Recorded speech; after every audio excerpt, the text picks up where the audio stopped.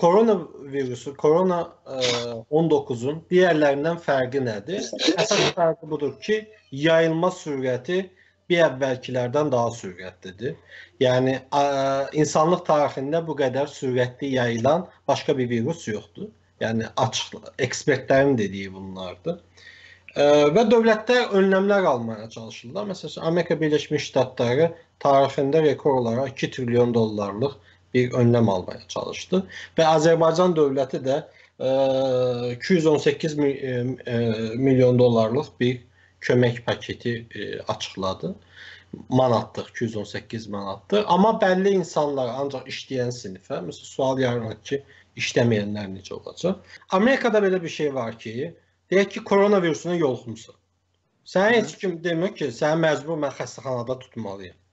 Deyir, qardaş, sənin riskin yoxdur, həyatı riskin yoxdur. Amma gedirsən evə, evdə olursan, evdən çölə çıxmırsan. Çünki sən xəstəsən. Bu sənin inisiativinə buraxırlar. Amma Azərbaycanda gördüyüm şey budur ki, bir çox videolarda görürəm. Ayaqda yeriyə bilən, yəni normal heç bir halı yoxdur, normal insandır. Ona korona virusu e, diaqnozu qoyulub və deyirsən xəstəxanadan çıxa bilməz. Amerika Birleşmiş Ştatlarında səhiyyə əlaqədar ciddi e, debatlar keçirilir. Məsələn, bununla əlaqədar İtaliyadakı özəlləşdirmənin gətirdiyi bir krizi də göstərir. Çünki o dönəmə denk gəlməsi də bu problemin bu qədər böyüməsində, bu qədər yataqların az olmasında səbəbdir. Mən bir liberalam, amma reallığı da görüb demək lazımdır. Bəli, olubmu? Olub. Keçid dövründə belə bir şey olub. Mənim fikrimcə artıq dövlətlər yetərsizdir. Daha üst qurumlara yetkilər verilməlidir. Çünki dövlətlər məsəl üçün e, belə deyək, bizim qonşumuzdakı İranın e, məsuliyyətsizliyindən Azərbaycan təsirlənir. Azərbaycanın məsuliyyətsizliyindən deyək ki, Türkiyə təsirlənəcək və ya nə bilim Gürcüstan təsirlənəcək.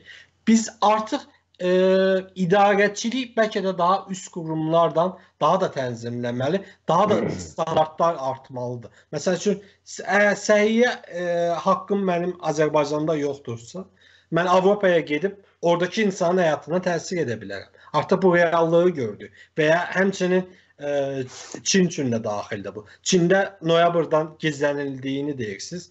Məsələn, Çində gizlənildiyi üçün bəlkə də qlobal olaraq bu qədər yayılmasının əsas səbəbi də məhz Çindəki e, bu gizlənmədir. Mən məsələn bunu adətə e, Çernobilə bənzədirəm. Sovetlərdə necə Çernobil hadisəsi baş verib bütün ekoloji problemlərə səbəb olmuşdusa, Çində bu kimi təsir oldu. Ya bir reallıq var. Yəni bir şey demək lazımdır. Bu epidemiya heç kim bundan xeyir götürmür.